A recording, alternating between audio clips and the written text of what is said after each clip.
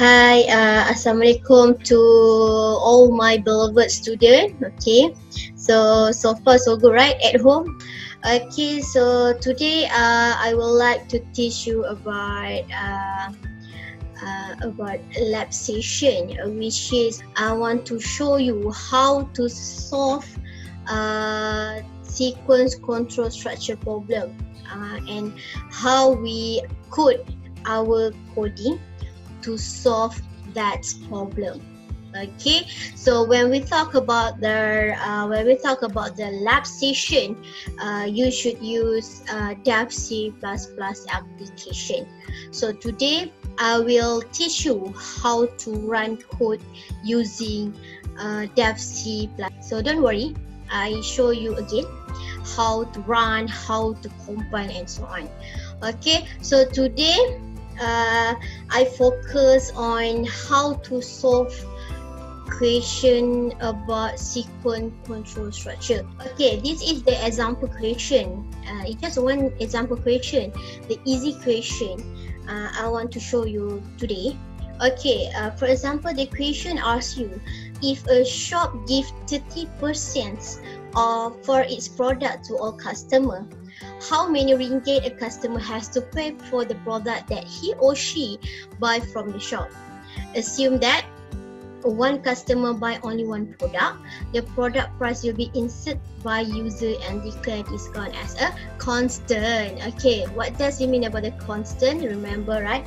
In chapter 2, if I'm not mistaken, I have uh, tell you about the constant uh, constant data type which means if you put con const at the front of the uh, variable declaration so it means that the value is always same. Okay the value is always same. For example we usually use uh, constant for the pi. We know exactly the value right? For example pi. Pi we know is we know the value of it is 3.142 and for this one we know uh, the discount is seems 30% okay? Kita nak ubah pun discount ni. So that's why we can use the constant. Okay? So uh, biar saya explain sikit pasal soalan ni soalan ni dia kata dia kedai tu bagi produk semua produk lah kita anggap je dia jual macam-macam produk. Okay tapi semua produk tu dia bagi 30% 30% 30% So how many ringgit ni maksudnya? Berapa yang user kena bayar? Output lah kan? Berapa yang user kena bayar? So kalau awak tengok dekat sini okay dekat sini dia tunjuk kat sini okay how many maksudnya berapa yang user perlu bayar dekat uh, shop tu Okay, so that is how many ringgit. Bila dia kata berapa kena bayar, maksudnya itu adalah out, output. Kita bagi tahu user contohnya uh, RM50 you kena bayar. So itu adalah output yang user kena tahu. Information. Uh, itu maksud information. So apa itu data? Kalau you tengok data dia adalah data dia adalah this one. Betul? the product price will be insert. When we talk about the insert, insert ni adalah in input. Okay, insert ni adalah input. Macam mana nak tahu itu input? Disebut insert by user ataupun ada soalan disebut input by user. So you dah tahu, okay, product price ni akan dimasukkan oleh user. Bila sebut akan dimasukkan oleh user, maksudnya itu adalah input. Bila sebut pasal input kita kena gunakan what kind of syntax? C in C in more than more than right? Bila sebut pasal input so you kena buat C in more than more than. Okay and you should have the C out also. Okay. So and declare discount as a constant. So masa variable declaration tu nanti you kena declare constant. Okay. Okay, macam mana kita nak solve this problem? So, ingat balik step by step apa yang saya dah ajar dulu. Step yang pertama, you kena buat analis. Kalau you blur sangat nampak soalan, you blur. Apa benda ni? Nak letak apa ni? Jangan you gusar, jangan risau. Sebab kita ada cara macam mana kita nak solvekan soalan ini. So, we should uh, use technique analysis. Okay, analysis. When we talk about the analysis, it's all about the ta- table. And table that we have a three uh, information which is uh, data. We have data and the process and also the last one is the output or information. So you should remember it. So, uh, so macam mana nak buat analisis? Okay, macam mana kita nak buat analisis? First kali you kena buat table. Betul? you kena wujudkan te table. So dekat table ni you ada data. Okay, abaikan tulisan saya yang cantik tu. Okay, so kita ada proses. Selalunya proses ni kita anggap dia uh, a formula. A formula. Okay, proses ni formula. And the last one is in for information or output. Data ni or in input. Okay, so dekat sini kita dah tahu, kita tahu apa tadi. Based on ni kita dah tahu ini adalah input, right? Sebab macam mana keyword dia adalah insert. Okay, ini adalah input. And then dia kata dia bagi 30% maksudnya formula dia adalah berkaitan dengan uh, how to calculate the percent percent of the product okay and then output dia adalah pay payment that that customer has to pay for the product after discount itu maksud dia Okay, first kali input dia, kita dah tahu input dia adalah product price. So, kita letak kat sini product. Product price. Okay, product price. Lepas tu dia kata tadi, discount as a constant. So, you boleh tambah kat sini. Set discount equal 0.30 why set discount as a 0.30 in C++ kita tak boleh gunakan percent tak boleh kita tak boleh buat uh, price times 30% dalam coding tak boleh okey dalam coding tak boleh so apa yang awak perlu buat awak kena convertkan 30% ini kepada decimal num number. Sebab apa? 30% bila kita convertkan 30 bahagi 100 okay, dia adalah 0.3. So convert dulu. Jangan letak 30% dalam you punya analisis takut you terbawa benda tu dekat coding nanti. Okay, so kita dah ada data. So next kita dah tahu kat sini adalah kita dah tahu dia punya out. Ni adalah out, output. Ini adalah out, output. So kita boleh letak dekat bawah ni adalah payment payment. Uh, payment. Payment user ke? User payment ke? Uh, ikut awak lah boleh. And the process macam nak buat proses ingat balik yang saya ada depan letak payment user. Okay payment user. Sama dengan uh, ingat. Sama dengan ataupun kita panggil dia assignment operator okey ataupun kita panggil dia sebagai assignment operator. Payment tu macam mana kira discount? Ha macam mana? So kita buat product price. Ha product price minus ke apa? Ha, mestilah minus. Okay product price times 0.30 ha ini adalah for formula dia ingat lagi see you sterile right nak kira diskon takkan tak tahu yours okay so payment user equal product price equal product price times 0.30 so this is the out output. Nampak tak? Ini cara macam mana awak nak solve the equation. So keluarkan satu-satu data dia. Jangan popo. Okay. ataupun yang ini. Okey sebabkan you dah mana pula pen saya sebabkan you dah setkan diskaun ni masuk ke dalam variable so yang ini you boleh tukarkan sebagai dis discount. Ah boleh nampak tak? Okey sebab you dah setkan benda ni set discount sama dengan 0.30 so you boleh terus je gunakan variable ini. So product price times this discount. Ah so boleh nampak tak? Senang. So kita dah tahu. So bila kita sebut input, input product price. So kita kena ask a user see product price. So kat sini kita dah boleh jadikan dia sebagai variable. Variable apa maksud variable? Variable adalah memory to hold the data that have been insert by you user. Okay. So ini semua adalah var variable ni. Payment user variable sebab apa?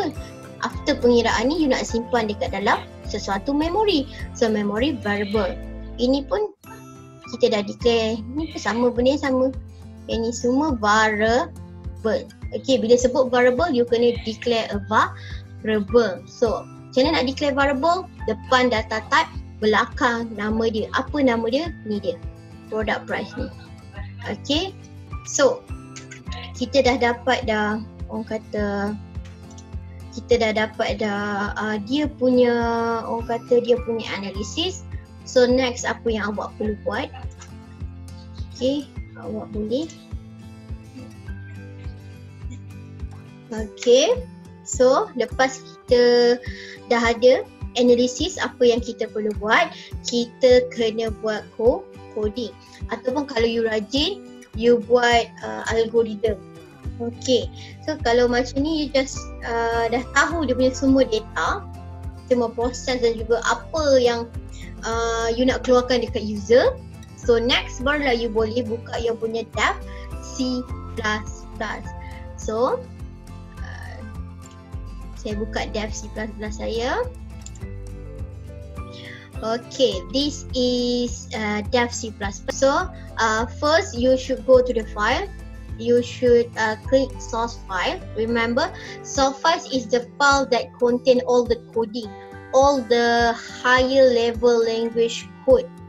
Uh, the the meaning of the higher level uh, language is it is the human language. So it use the English statement okay menggunakan English statement bahasa yang kita faham kalau kita gunakan low low level language semuanya adalah bahasa machine language so sekarang source file ni adalah file yang uh, uh, file yang simpan semua kod-kod daripada bahasa manusia kita uh, contohnya CLC ni so on okay so first click new and we we click source uh, source file Okay, kita klik. Okay. So sekarang kat sini untitled one. So remember you kena save dahulu. Save as. Okay. Save as. Okay. So simpanlah kat mana-mana yang awak nak. Okay. Awak boleh simpan kat mana-mana file yang awak nak. And tulis kat sini. Nama kan you punya file tu dengan apa yang awak buat.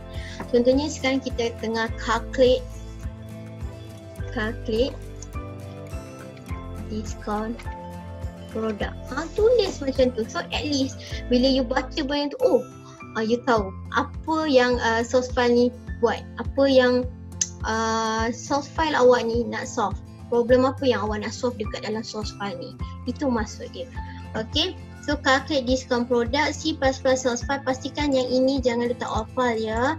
You kena letak C++ Okay, pastikan .cpp. .cpp maksudnya .c and then you click save. Okay. Uh, so ingat lagi tak macam mana nak start coding. So remember kita ada step by step how to uh, code our coding. Which is first is you should include hashtag include iostream. Which is that is the header of the file. Okay. So first sekali uh, before hashtag include you should have the comment okay comment to uh, comment that have all the information who is the author uh, when you do this coding date and also the problem. Okay? So how to do the comment? There uh, we have a two way which is uh, you can uh, okay you can do this one. Okay? This syntax. So double slash means that you just only comment line by line. Okay line by line. But i uh, but i have more than one line so i use this one. Best slash okay star and then uh, put the outer problem. Problem to calculate to calculate user to calculate oh my god to calculate discount. Buatlah macam tu to, to calculate discount produk. Okay so awak kena buat macam ni dekat dalam kod ini semua ada markah ni. Okay next. Outer. Ataupun programmer name. Tulislah Kadir okay. So date bila uh, 40 contoh eh.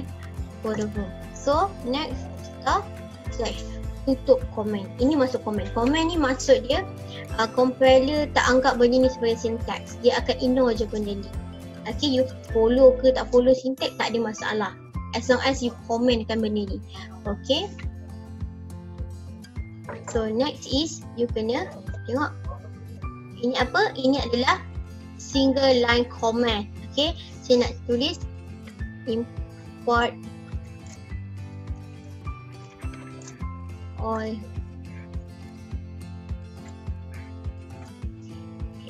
uh, so ini adalah single line comment. Okay? Kita gunakan double double slash. Okay?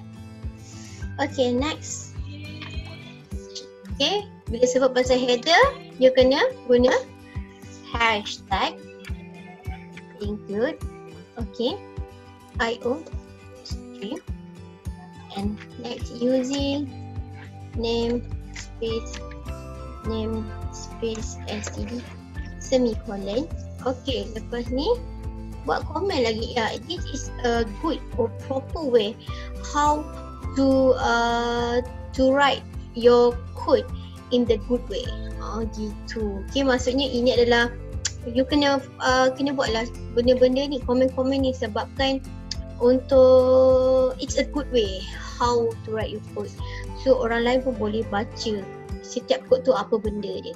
Ataupun ni juga boleh jadikan sebagai note. Komen-komen ni boleh jadikan juga sebagai note untuk awak ingat lepas ni apa lepas ni apa lepas ni apa. Okay? So next kita open main body. So macam mana nak open main body? So you kena guna int main Okay Kurungan. Jangan lupa dia punya orang kata curly braces Left and right Okay open and close curly braces. Okay next is you should You should what? You should do a variable declaration Okay, uh, ini step-step yang awak kena ingat. First is comment pasal information. Lepas tu import all header. Lepas tu open main body. Lepas open je main body, after je you, orang kata, after je you open the curly braces, after that you kena buat variable declaration. So, macam mana awak nak tahu variable declaration apa yang awak kena guna? So, based on Okay, so based on apa yang awak buat tadi. This one. Ha, nampak? So, ini semua adalah variable. Variable untuk simpan semua data and information after process it. Okay. So, Okay, so saya pergi balik ke dev saya. So tadi kita ada apa tadi? Kita ada Okay, kita ada product price. So, product price ni bila sebut pasal price, apa yang saya sebut dulu, okay, bila sebut pasal price, price ni dia boleh jadi macam-macam. dia boleh jadi RM4 RM4.20 sen, RM5.20 sen. So benda yang ada point-point-point tu uh, you kena declare sebagai apa? Double O float. Nak selamat just declare je dah double. So ingat variable declaration untuk buat variable declaration awak kena first dekat depan dia awak kena ada data type. So apa jenis data type yang awak nak terima daripada user? So kalau macam product price saya nak letak double Lepas double dia dia adalah identifier. Identifier ni apa? Identifier adalah nama kepada memori itu, nama kepada variable ini. So dia ada rules dia di mana tak boleh start dengan nombor. Ingat tak tak boleh start dengan nombor. So uh, identifier tu tak boleh dijarak. Okay, so dia kena gunakan camel case untuk combine dua words. Contoh macam tadi product price. So saya nak buat nama dia adalah product this one is the common case. Saya nak gabungkan dua words. You kena gunakan uh, product price. Okay. Uh, so next apa yang awak kena ada lagi? You kena set discount ni sebagai constant. You ada user payment. Okay user payment pun you boleh buat koma as long as dia adalah data type yang sama you boleh komakan benda tu. Okay user payment payment nampak tak saya buat macam ni okey jangan ada jarak jangan start dengan nombor jangan start dengan simbol. No simbol dalam identifier. Nama kepada variable. Ingat balik chapter 2 awak wall saya ajar kat awak. Okey so lepas variable declaration mesti letak semicolon. So mesti awak tertanya-tanya kenapa saya tak komakan dengan discount kenapa? Sebab soalan tu suruh letak con constant. So bila constant, you kena de- declare another variable iaitu you kena tambah C O N S T double equal 0.30. So maksudnya double apa? Discount. Okay, equal 0.30. 30. So maksudnya diskaun ni tak boleh berubah. Kalau saya letak diskaun tu kat sini, okay, kalau saya letak diskaun tu kat sini, diskaun sama dengan 0.30. Okay, boleh tak ada masalah. Tapi dia boleh berubah. So sekarang soalan tu kata dia tak nak ubahkan diskaun tu sampai bila-bila. Itu maksud dia. Okay, so dia nak constant kan. So tak bolehlah duduk dekat dalam satu line yang sama sebab apa? Product price dengan user payment benda tu akan sentiasa berubah. Kalau you pergi letak cons kat depan ni, you letaklah apa-apa nilai pun dia takkan berubah. Okay, itu you kena make sure. You kena ingat benda tu. Okay, so dah settle. Kita dah ada product price, user payment, discount. Okay, settle. So kita ada tiga tak? Satu, dua, tiga nampak so perlu ke kita nak declare balik you uh, product price ni tak perlulah sebab once you dah declare sekali you boleh guna banyak kali Okay, itu maksud dia. Once you dah declare sekali, you dah boleh guna banyak kali. Okay, next. Boleh kita start dengan input statement. Okay, boleh kita start dengan input statement.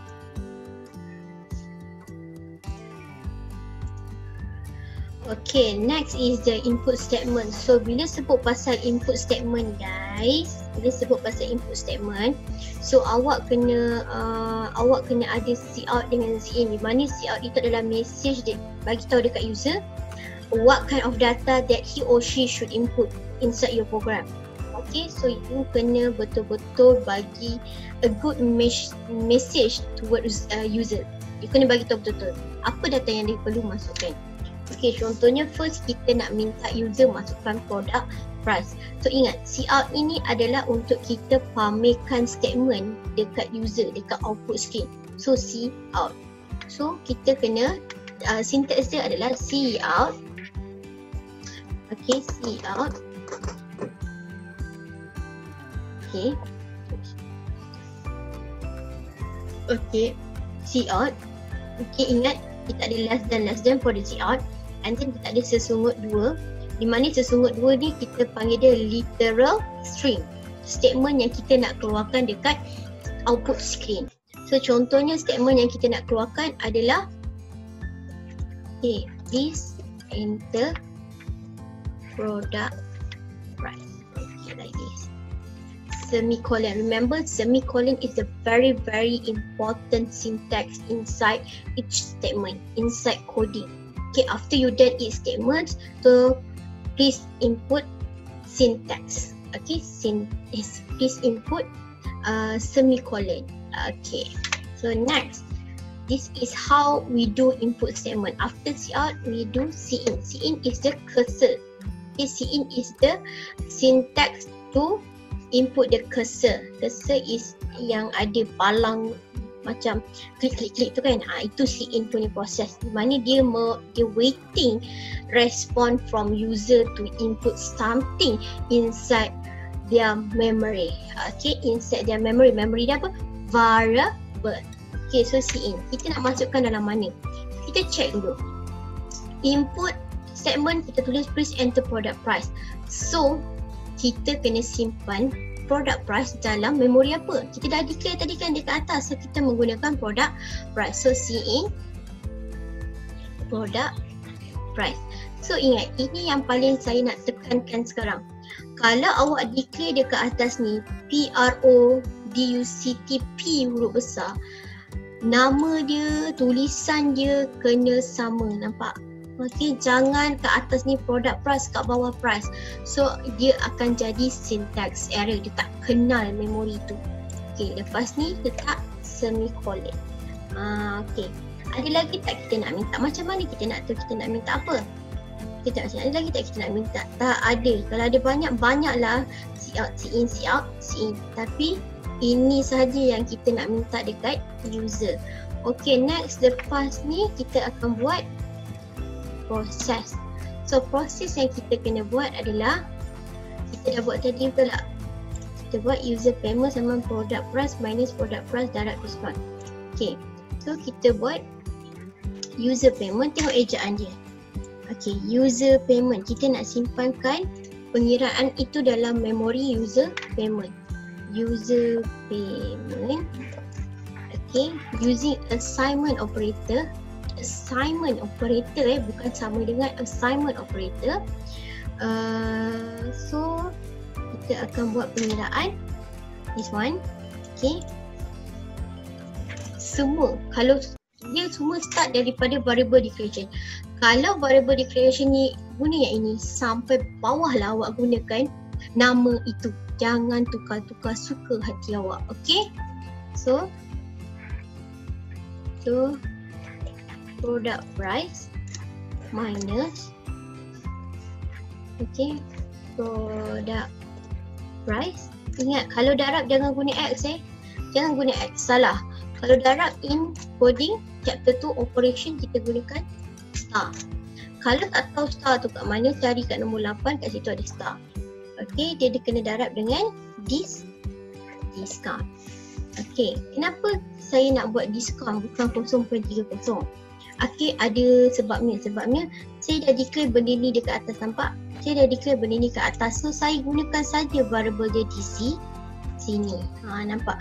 Kalau awak tak ada declare benda ni kat atas Barulah awak kena letak 0.30 dekat dalam ni. Tapi sekarang awak dah masukkan 0.30 You assign masuk dekat dalam variable dis discount. So gunakan bah balik. Guna discount. Sebab dia is always constant okay? Pemena ni constant. Okay so ada orang tanya miss boleh tak saya buat asing-asing? Okay boleh. Contohnya uh, awak nak tambah kat sini discount. Okay discount uh, discount payment. Okay you nak buat macam ni? You nak buat satu-satu boleh tak ada masalah. Contoh saya komenkan ni sekejap.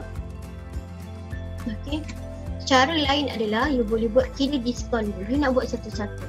Discount payment is equal product price time discount. Okay. So user so user payment equal product price minus apa? Minus this one lah minus discount payment. Ah, ni cara buat satu-satu boleh. Nak buat panjang-panjang, nak buat sekali pun boleh. Tak ada masalah. Okay, tak ada masalah ikut awak. Ikut kesesuaian, ikut keselesaan masing-masing. Okay, kita dah ada proses. Lepas proses kita kena ada apa? Output statement. So, apa output? Apa yang awak nak display dekat user? Apa yang awak nak display? Awak nak display the total payment, user payment. So, you boleh buat out uh,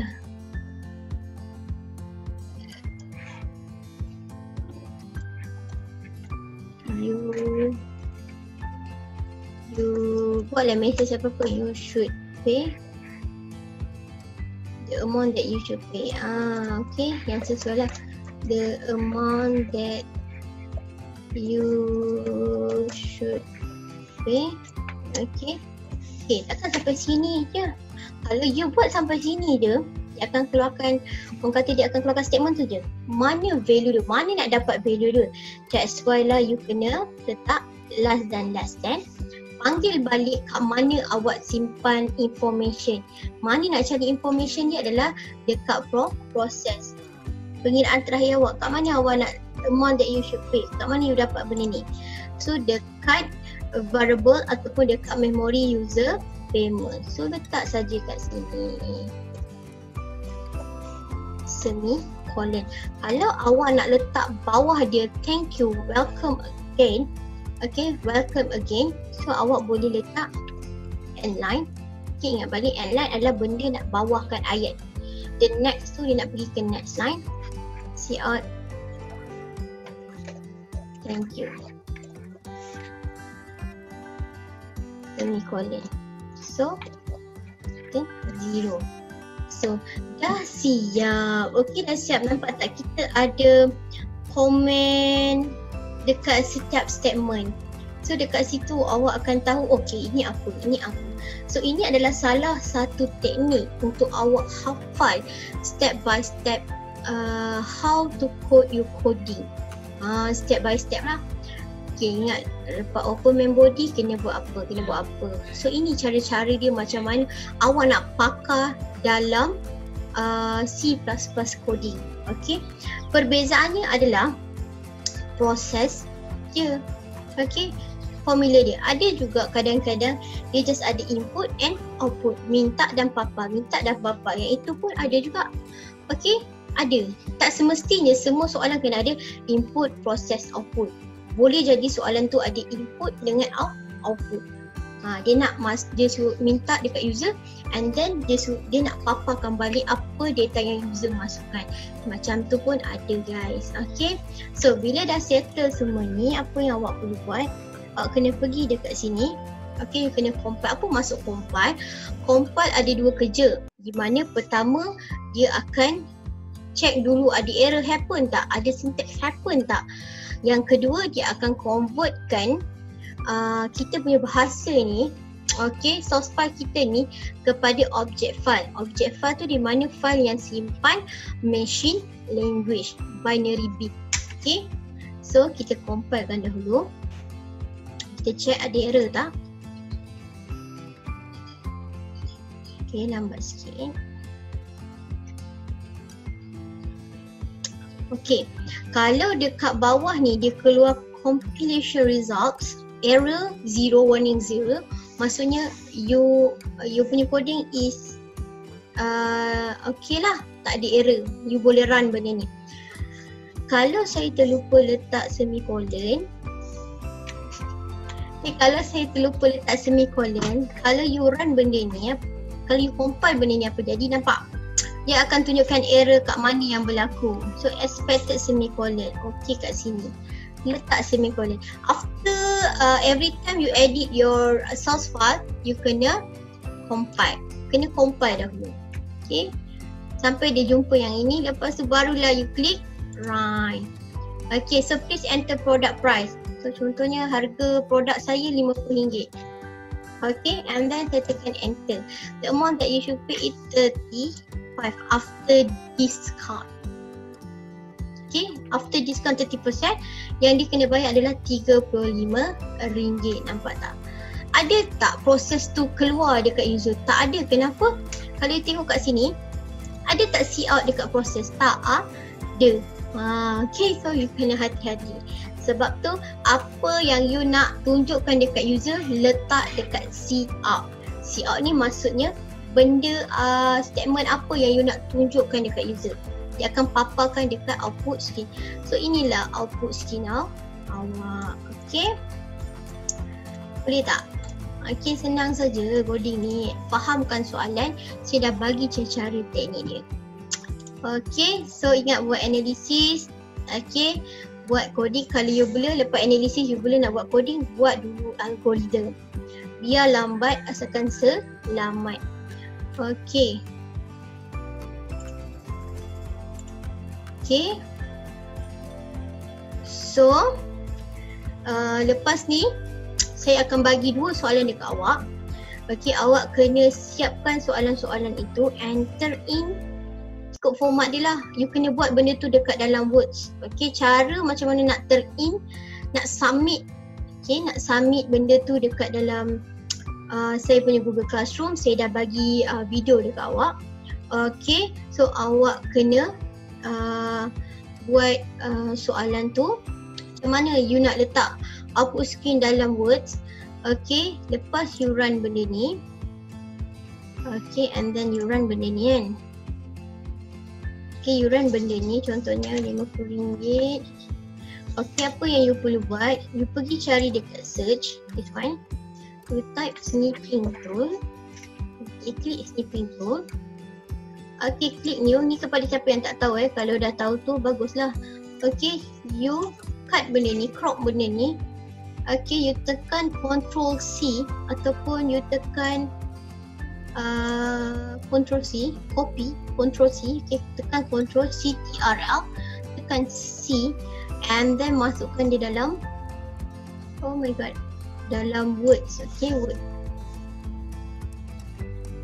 Okay, masukkan dia dalam words cara dia macam ni uh, macam mana saya boleh ubah macam tu so you tekan control B copy and paste nampak ini adalah contoh macam mana awak nak cut your punya output screen one by one okay so boleh eh saya harap awak boleh buat uh, soalan yang saya bagi nanti So kalau ada apa-apa soalan boleh roger-roger saya. Don't worry, saya ada available sahaja.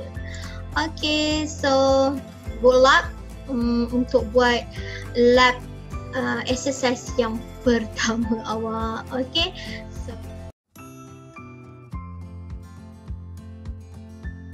song. Bye.